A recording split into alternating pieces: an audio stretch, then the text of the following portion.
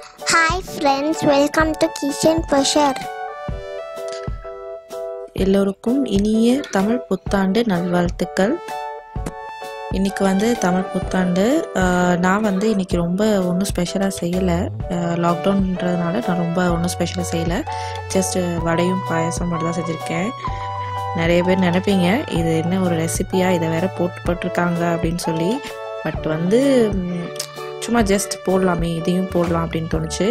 ஏன்னா எல்லாருக்கும் ஒரு ஒரு யூனிக் டேஸ்ட் இருக்கும் இல்லையா? எல்லாரோட மெத்தடும் வேறு மாதிரி இருக்கும். ஒரு ஒரு செய்கிறதும் வேறு மாதிரி இருக்கும். ஸோ அந்த மாதிரி இதில் நான் எப்படி செய்வேன்றதை உங்கள்கிட்ட காட்டுறேன். இப்போ இன்றைக்கி வந்து நான் பாயசம் ஃபஸ்ட்டு பால் பாயசம் தான் வைக்க போகிறேன் அதுக்கப்புறமா நான் உளுந்து வந்து ஊற வச்சுருக்கேன். அதுக்கும் ஆல்ரெடி உளுந்து வந்து ஒரு டூ த்ரீ ஹவர்ஸ் மேலேயே ஊறிடுச்சு. இப்போ வந்து பால் பாயசத்துக்கு நான் ஒரு ரெண்டு கிளாஸ் தண்ணியில் வந்து ஜவரிசியை ஜவ்வரிசியை போட்டு வச்சுருக்கேன். என் பொண்ணுக்கு இந்த ஜவ்வரிசி அந்த பால் பாலாக இருக்கிறது வந்து ரொம்ப பிடிக்கும். ஸோ அதனால் நான் எப்போவுமே வந்து ஜவ்வரிசியை ப்ரிஃபர் பண்ணுவேன் பாயசத்துக்கு. சில பேர் சேமியா மட்டும் வச்சு செய்வாங்க பட் நான் ஜவரிசியோடு சேர்த்து தான் செய்வேன்.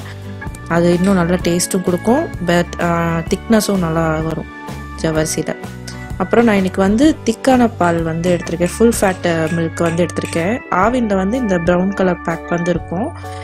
மற்ற இதில் எனக்கு எப்படின்னு தெரியல. ஸோ நீங்கள் எப்படியோ ஒரு ஃபுல் ஃபேட் மில்க் பேக்கெட்டு அரை லிட்டர் தான் நான் இப்போ எடுத்திருக்கேன். அதை வந்து தனியாக நான் இப்போது இன்னொரு இதில் வந்து காய்ச்சிட்ருக்கேன். தண்ணி ஊற்றாமல் காய்ச்சிருங்க. தண்ணி ஊற்றி காய்ச்சக்கூடாது. தண்ணி ஊற்றாமல் காய்ச்சிருங்க. அதுக்கப்புறமா இங்கே வந்து நான் இப்போது இது கொதிச்சுட்டே இருக்கட்டும்.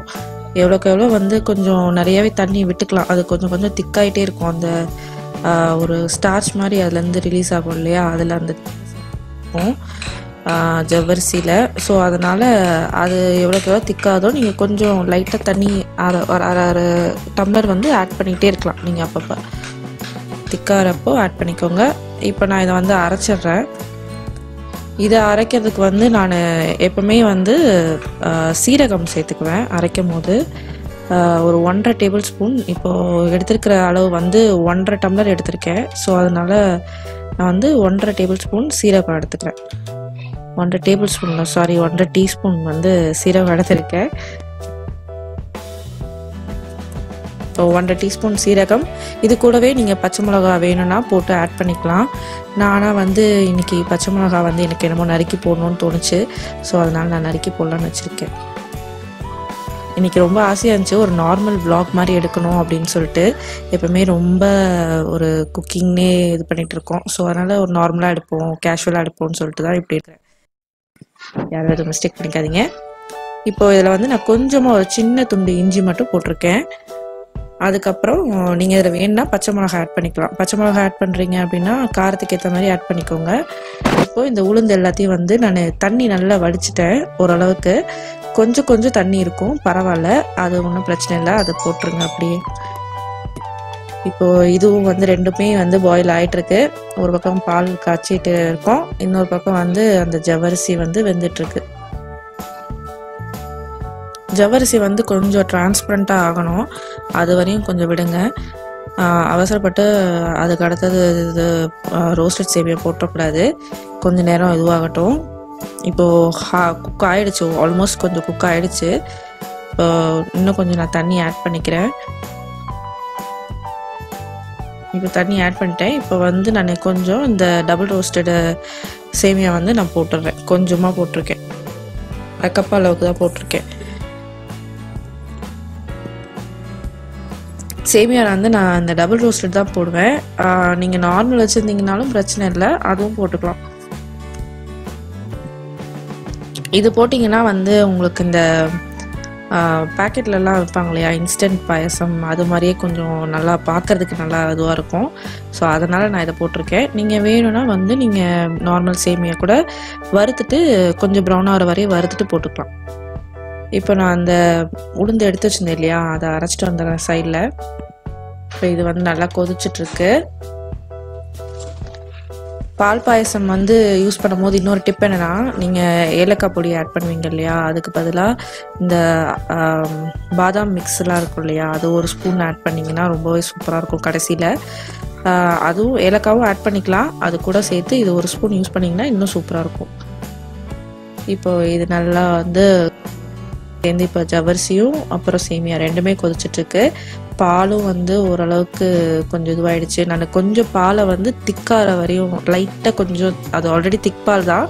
பட் ஸ்டில் இருந்தாலும் கொஞ்சம் திக்காகிற வரையும் நான் வச்சுருக்கேன். சுருக்கியே வச்சுருக்கேன். இது ரெடி ஆகிறப்ப அதை ஊற்றிடலாம் இப்போ இது வந்து வெந்துருச்சு. இப்போ நான் வந்து அந்த பாலை கொஞ்சமாக ஃபஸ்ட்டு ஊற்றிக்கிறேன் ஊற்றிட்டு கொஞ்ச நேரம் அந்த பாலோடு சேர்த்து அந்த ஜவரிசியும் இதுவும் வேகிற மாதிரி வச்சுக்கிறேன் கொஞ்சமாக அப்புறம் கொஞ்சம் கொஞ்சம் அப்பப்போ ஆட் பண்ணிக்குவேன் நான். நடு நடுவில் எப்போ வேணுமோ அப்பப்போ ஆட் பண்ணிவிட்டு கடைசியாக அந்த பால் ஃபுல்லாமே காலி பண்ணிடுவேன். அரை லிட்டர் பால் இதுக்கு சரியாக இருக்கும். இப்போ அந்த அடுப்பை ஆஃப் பண்ணிட்டேன். இப்போ இந்த பாலை வந்து கொஞ்சம் கொஞ்சமாக ஊற்றிட்டு இருக்கேன் நான் எப்பவுமே இப்படி தான் பாயசம் வைப்பேன். ஆஹ் எனக்கும் எங்கள் வீட்டில் எல்லாருக்குமே மோஸ்ட்லி வந்து பால் பாயசம் தான் பிடிக்கும். ஸோ அதனால தான் இதை பால் பாயசம் தான் சாப்பிடுவா. அதனால தான் இதை வைக்கிறேன். இப்போ இது வந்து கொஞ்சம் நல்லா வெந்துருச்சு. இப்போ இதில் வந்து ஏலக்காய் பொடி போடணும் சர்க்கரை போடணும். இதெல்லாம் எதுவுமே போடலை இன்னும். வெறும் வேக வைக்க மட்டும்தான் நம்ம செஞ்சிட்ருக்கோம்.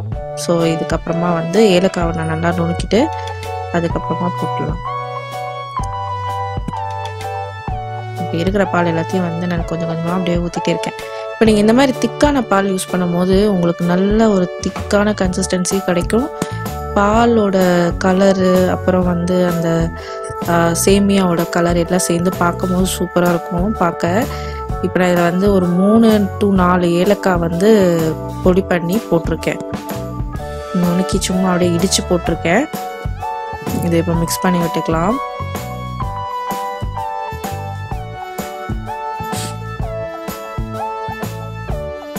இதுதான் என்னோட ஸ்டைலு நான் இப்படி தான் வைப்பேன் எப்போவுமே. நீங்கள் இதை நல்லா இருந்தால் எனக்கு கமெண்ட்டில் சொல்லுங்கள்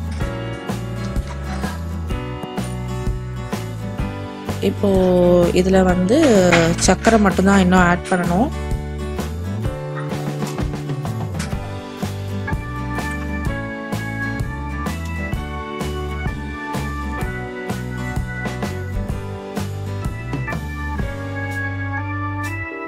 இப்போ இதில் சர்க்கரை ஆட் பண்ணுறோம். இப்போ நான் வந்து ரெண்டரை கரண்டி ஆட் பண்ணுறேன். நான் வச்சுருக்க கரண்டியை காட்டுறேன். அந்த கரண்டியில் ரெண்டரை கரண்டி வந்து சர்க்கரை ஆட் பண்ணுறேன். உங்களுக்கு எவ்வளோ இனிப்பு வேணுமோ அதுக்கேற்ற மாதிரி போட்டுக்கலாம். நான் வந்து கொஞ்சம் லைட் ஸ்வீட் தான் நான் போடுவேன். ஸோ அதனால் இவ்வளோ ஆட் பண்ணியிருக்கேன். உங்களுக்கு வேணும்னா இன்னும் கொஞ்சம் நீங்கள் ஆட் பண்ணிக்கலாம்.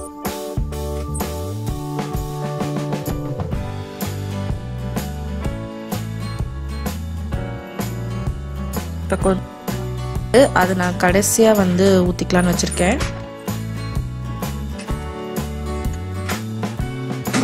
ஏன்னா கடைசியாக பார்த்தீங்கன்னா கொஞ்சோண்டு திக்கான மாதிரி தெரியும். ஸோ அந்த டைமில் நம்ம வந்து இதை ஆட் பண்ணிட்டோன்னா கொஞ்சம் கரெக்டாகிடும் இது மோஸ்ட்லி இந்த பாயசம் இந்த இதுக்கு வந்து ஜ- நம்ம போட்டிருக்க சேமியா இருக்கு இல்லையா? டபுள் ரோஸ்டட் சேமியா. அதுக்கு வந்து அவ்வளோவா திக்காக தெரியாது. நீங்கள் இந்த மாதிரி செஞ்சீங்கன்னா கெட்டியாகாமல் அப்படியே இருக்கும். நீங்கள் அந்த சேமியா அதுவும் இல்லாமல் சேமியாவும் கன்சிஸ்டன்ட் கரெக்டாக வந்து அளவுக்கு ஏற்ற மாதிரி போடணும். ஜவ்வரிசியும் அளவாக போடணும். ரெண்டுமே கரெக்டான அளவு போட்டிங்கன்னா இந்த மாதிரி கொஞ்சம் தண்ணியாகவே இருக்கும் பாயசம். இல்லைன்னா வந்து ரொம்ப திக்காக கெட்டியாயிடும். ஒரு ஸ்டேஜுக்கு மேலே ஆறுனதுக்கப்புறம் பார்த்தீங்கன்னா சில பேருக்கு திக்காயிடும். அந்த மாதிரிலாம் ஆகாமல் இருக்கும்னா இது மாதிரி பண்ணிக்கோங்க.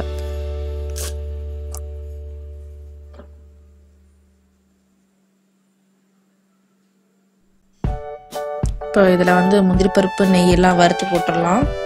அதுக்கு வந்து நான் ஒரு இந்த தாளிக்கிற கடாய் தாளிக்கிற பேன் இருக்கு இல்லையா? அதில் வந்து நெய் போட்டிருக்கேன். ஒரு ஒன்றரை டேபிள் ஸ்பூன் நெய் போட்டிருக்கேன். மாற்றிடுறேன் உங்களுக்கு அப்போ தான் கொஞ்சம் கிளியராக தெரியும்.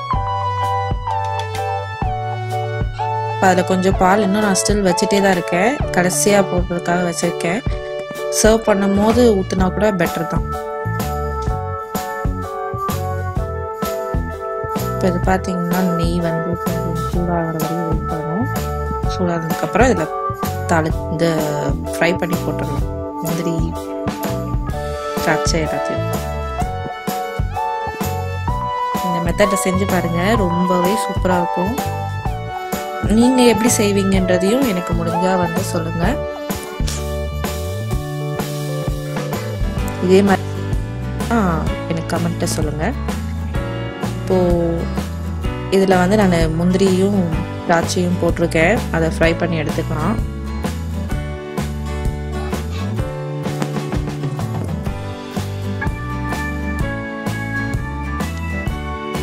ரெண்டும் கொஞ்சம் ஸ்லைட்டாக கோல்டன் ப்ரௌன் ஆற வரையும் விட்டால் போதும். ரொம்ப நேரம் இது பண்ண தேவையில்லை.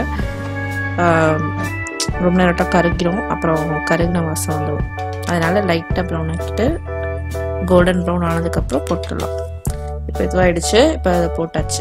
அவ்வளோதான் பார்த்தீங்களா சூப்பராக வந்து கேஷ்யூஸ் எல்லாம் லைட் ப்ரௌனாக இருக்குது அந்த கரெக்டாக அந்த டைமில் எடுத்துட்டோம்னா சூப்பராக இருக்கும். இப்போ இது நல்லா மிக்ஸ் பண்ணி விட்டுக்கலாம்.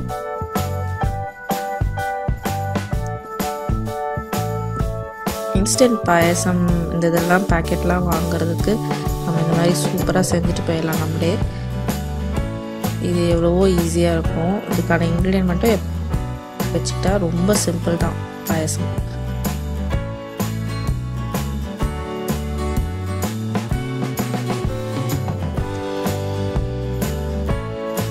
இதில் வந்து இப்போது போட்டு எடுத்தாச்சு. எல்லாமே முடிஞ்சிருச்சு. ஃப்ரை பண்ணி போட்டாச்சு எல்லாத்தையும். அவ்வளோதான் இதில் பாயசம் வந்து இப்போ ரெடி ஆகிடுச்சு இதை வந்து ரொம்ப ஃபுல்லாக மூடிடாதீங்க. தண்ணி வேர்வை ஊற்றி உள்ள இதுவாயிடும் அது அவ்வளோதான் இப்போ வந்து நம்ம வடை வந்து ரெடி பண்ணிட்டு இருந்தோம் இல்லையா? அரைச்சி வச்சுருக்கேன். இப்போது அதை வந்து நான் வெங்காயம் இதெல்லாம் கட் பண்ணி ஆல்ரெடி வச்சுருக்கேன். வெங்காயமும் பச்சை மிளகா அப்புறம் கருவேப்பிலை. இது எல்லாமே இப்படி வச்சுருக்கேன். இப்போ அந்த மாவை வந்து நான் இன்னொரு பெரிய பவுலில் போட்டுக்கிறேன். இதில் இருந்தால் மிக்ஸ் பண்ண முடியாது. அதுவே ஆல்ரெடி ஃபுல்லாக இருக்குது ஸோ அதனால் மிக்ஸ் பண்ண முடியாது.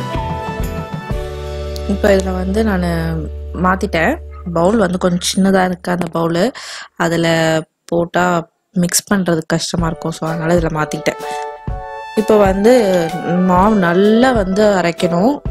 தண்ணி வந்து ரொம்ப நிறைய விட்டுறக்கூடாது. விட்டுட்டா அப்புறம் வந்து தண்ணி ஆகிடும் மாவு.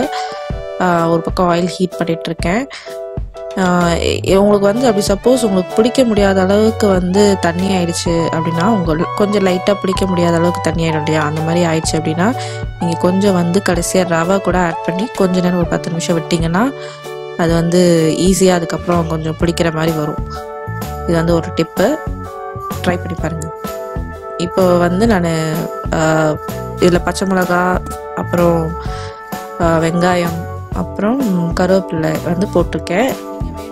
கூட போட்டுக்கலாம். மிளகு வந்து நான் இப்போது ஆட் பண்ணல. நீங்கள் வேணால் ஆட் பண்ணிக்கலாம். நல்லாயிருக்கும் அதுவும். இப்போ இதை வந்து ஒன்று ஒன்றா எடுத்து தட்டி நான் இப்போ வந்து போட்டுட்ருக்கேன் எண்ணெயில்.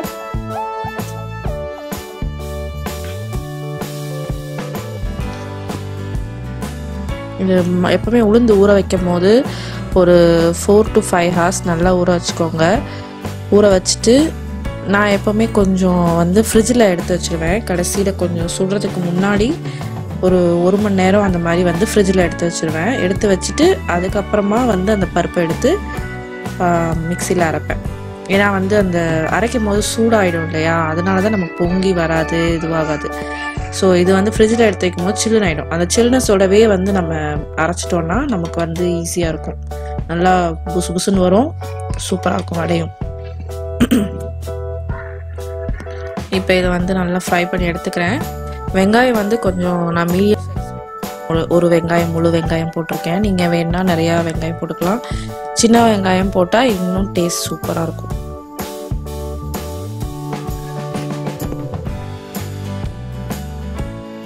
நல்லா கொஞ்சம் கோல்டன் ப்ரௌன் ஆகிற வரையும் விடுங்க. பார்த்தாலே தெரியும் இல்லையா? கிறிஸ்பியாக இருக்கிறப்போ எடுத்தால் நல்லாயிருக்கும் வெள்ளை வெள்ளையாக இருக்கிறப்ப எடுக்கக்கூடாது. ரொம்ப வெள்ளையாக இருக்கிறப்ப எடுக்க வேணாம். உள்ளேயும் வந்திருக்காது. கொஞ்சம் வந்து மீடியம் டு ஹை ஃப்ளேம்லேயே வந்து கொஞ்சம் வச்சுக்கோங்க. மீடியம் ஃப்ளேமில் வச்சா கூட ஓகே தான்.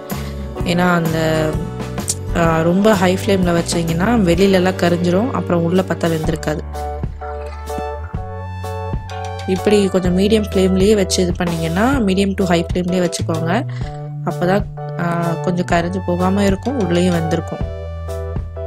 சம்டைம்ஸ் என்ன ஆகும் அப்படின்னா மாவு நீங்கள் தம்மி தண்ணியாக கொஞ்சம் இருந்துச்சு அப்படின்னா அதில் வந்து நிறைய எண்ணெய் பிடிக்கும். நீங்கள் அதுக்காக அப்புறம் நிறைய எண்ணெய் வந்து சாப்பிட முடியாது ரொம்ப. ஒரு இதுக்கு வடைக்கு மேலேயே சாப்பிட முடியாது. ஸோ அதை வந்து நீங்கள் கா பார்த்துக்கோங்க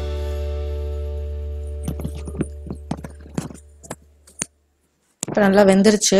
ஓரளவுக்கு ஃபுல்லாகவே வெந்துருச்சு. இப்போ பாருங்கள் செம கிறிஸ்பியாக இருக்குது பார்க்கும் போதே தெரியும் நல்லா கிறிஸ்பியாக இருக்கிறது. இதே மாதிரி நீங்களும் ட்ரை பண்ணி பாருங்கள் இந்த மெத்தட் உங்களுக்கு சூப்பராக இருந்துச்சுன்னு தோணுச்சுன்னா எனக்கு கமெண்ட்டில் சொல்லுங்கள் நீங்களும் இதே மாதிரி வீட்டில் செஞ்சு உங்கள் ஃபேமிலியோடு சேர்ந்து என்ஜாய் பண்ணுங்கள் இந்த வீடியோ உங்களுக்கு பிடிச்சிருந்ததுன்னா மறக்காமல் பண்ணுங்க ஷேர் பண்ணுங்க சப்ஸ்கிரைப் பண்ணுங்க. பாய் பாய் தேங்க்யூ